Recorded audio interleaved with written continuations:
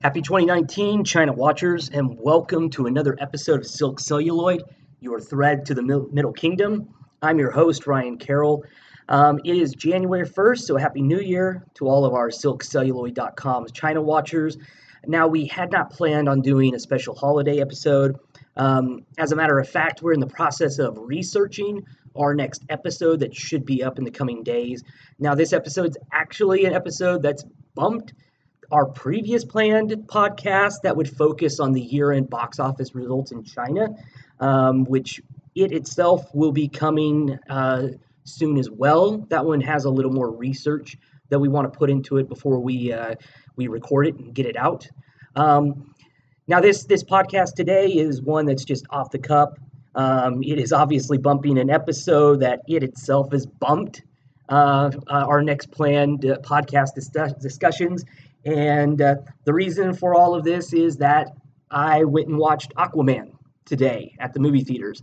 I went there just because I wanted to see what all the hubbub was about uh, with its dominance at the China box office to see if there was anything specific that was really propelling it forward. Um, and the movie is now projected to make a little over under $280 million in its final total in China um, overtaking the astonish, astonishing 270 million US dollars uh, for the final total of Sony's Venom.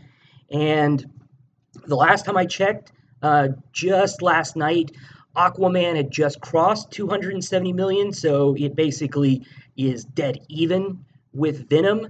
But probably by the time you're listening to this podcast, or even by the time I get it up, um, it is going to actually have overtaken Venom's final box office. Now, uh, much has been said about the marketing in reaction to Aquaman's success being centered around it being sold not just as a superhero flick, but as a fantasy film as well. A genre that is hugely popular in China, and that one we have an article about over on silkcelluloid.com. Uh, the article is discussing Hollywood's and many trade pundits' misconception of China's love for sci fi with China's love for fantasy. Now, this was obviously in the film. Um, the fantasy aspects of Aquaman, you know, it really does stand out, um, especially if you're kind of looking at the visuals. The, the, the visuals of the sweeping shots of the city of Atlantis itself as the characters enter into the city. And one thing that really stood out to me uh, immediately was the choice of color palette and the design choices. And this actually re- reminded me of some recent Chinese fantasy and sci fi films. Now, I don't know if this is just a, a happy coincidence or if these choices were intentional, uh, since James Wan is uh, Chinese Malaysian, but I am leaning more on the side of coincidence than uh, it being something specifically uh, decided as they were going through the concepts and the design of what the city is going to look like you know, in trying to reach a broader audience in China. Um, I think it probably has more of a of an influence from something like Avatar than it does from Chinese films. But I have been wrong before, and I might be wrong today. We'll we'll probably have to wait and see for the audio commentary on the Blu-ray release. now, the fantasy element, you know, kind of this little fantasy subgenre mixed in with the superhero film. Um, I am an advocate saying that superhero films are a genre themselves, but I don't think that the fantasy aspects in the marketing and in the film itself is really what has propelled this movie forward in the way it has. Um, and I think there is a blatantly overlooked genre that the movie follows that is not only huge in China, but it has been big for several years.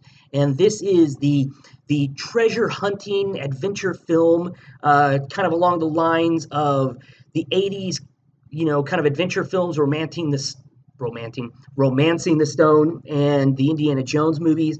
And James Wan actually specified that these films uh, were a direct influence on how he made this kind of subplot within Aquaman. There's a certain arc in Aquaman in the middle section that kind of involves this Indiana Jones uh, treasure hunting adventure film. Now, like I said before, I don't know if this is just happenstance that Aquaman happened to kind of tap into another subgenre within the superhero film itself that resonated with Chinese moviegoers. And I said that this kind of uh, subgenre, this genre, has been incredibly popular in China, uh, but it's it's not necessarily kind of uh, you know kind of said to be a treasure hunting or Indiana jo- Indiana Jones style film. Um, in China, they're typically referred to as tomb raiding films, and these tomb raiding films is probably best represented by the uh, the hit uh, Mojin, the Lost Legend, uh, which is coincidentally the only December released film that Aquaman did not break its opening weekend record for the whole month of December. So Aquaman's uh, phenomenal, uh, I believe it was 93 million opening weekend, makes it the second biggest opening weekend for the month of December in China, and that's behind Mojin, the Lost Legend, which came out a few years back, and uh, probably with uh, inflation adjustments, uh, Mojin is still tracking ahead of Aquaman by quite a few million.